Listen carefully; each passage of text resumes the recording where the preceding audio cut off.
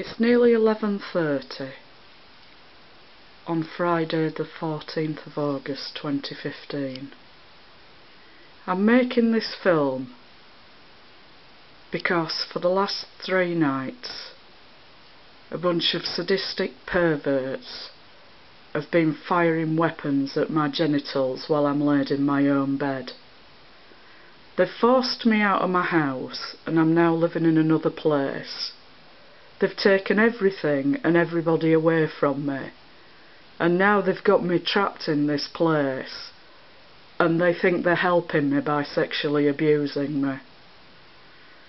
Previously, when I was in my other house, they would fire noise weapons at my head all night to keep me awake. And even when I was screaming in distress and wet myself because of the distress they were causing me, they would still carry on for another five or six hours. These people are sadists and perverts. They're enjoying abusing me with impunity and they think that there's going to be no comeuppance for them. Well, they're very much mistaken because I'm having an inquiry into all the abuse I've been put through and whoever is coordinating it and whoever is sexually abusing me and attacking my body when I'm in my own home is going to jail because of it and they're going on the sex offenders register. They think they're going to get away with this. They're not getting away with it. Six years of harassment and abuse they've put me through. I'm harassed and abused all day, every day. I can't go anywhere. They've completely destroyed my whole life and they want me to think that they're doing it to help me. They're absolutely insane.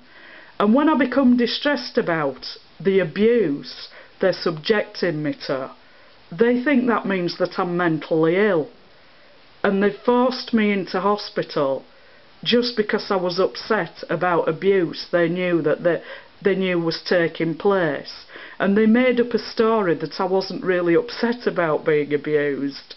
I was upset because I wasn't a nun in France. They made this story up. They made it up to validate their own worldview. These people are control freaks. They're psychopaths. They've got the power of the state behind them and they'll do whatever they think they can get away with. They've got no conscience. I'm not putting up with this. The people who've done this to me, and the people who've now started sexually abusing me night after night in my own bed, when I find out what their names are, I'm going to tell everybody.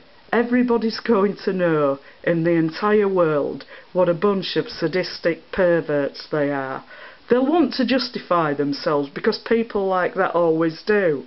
There is no justification in isolating a woman on her own from everybody and then sexually abusing her. And, you know, the people, a lot of people get pleasure out of harassing me because they think there's going to be no comeback for them. They're not bothered. I didn't realise that the majority of people don't have a conscience at all. They'll just do what they think they can get away with. Well, the people who are firing weapons at my genitals night after night are not getting away with it. They most certainly are not getting away with it. They're causing me a lot of pain. It's humiliating and degrading. They think I'm too embarrassed that I won't tell anybody. Well, I'm going to tell everybody. I'm going to find out who they are one day, and I'm going to tell everybody what a bunch of sadistic perverts they are. They're psychopaths. There's no other explanation for behaving like this. It's not helping me. It's not proving anything. They're doing it for the sake of it because they think they can get away with it. And um, I'm going to make more videos and tell everybody what these evil sadists are doing to me. So um, I hope they enjoy the publicity they're going to get when I find out their names and I tell everybody.